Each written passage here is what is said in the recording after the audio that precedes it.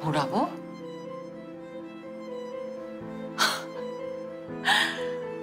아니 이렇게 말도 안 되는 소리를 해, 순정 씨.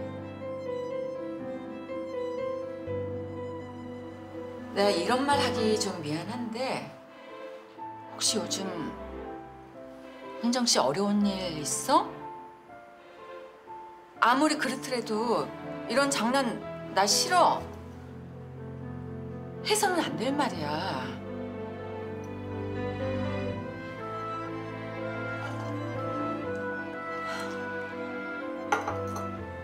박필홍 씨.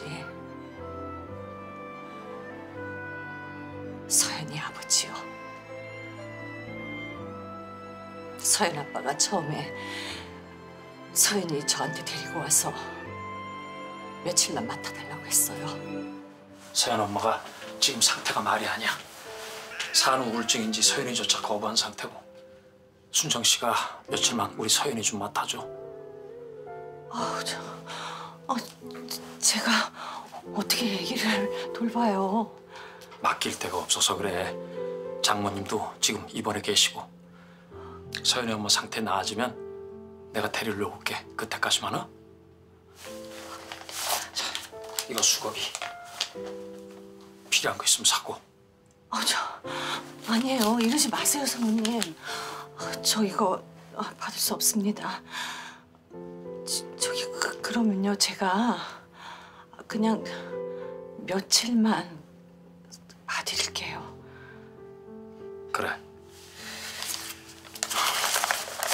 고마워 순정 씨. 정말 고마워. 잘 부탁할게.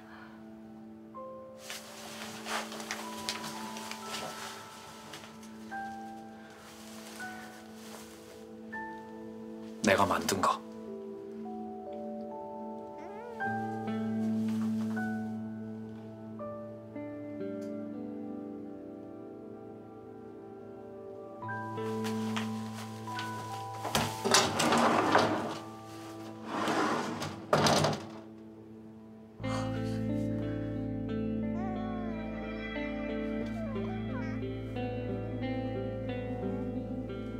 그 말을 믿었어? 박필홍 그 사람 어떤 사람인지 몰라? 나 그때 우리 서연이 잃어버리고 나서 내가 얼마나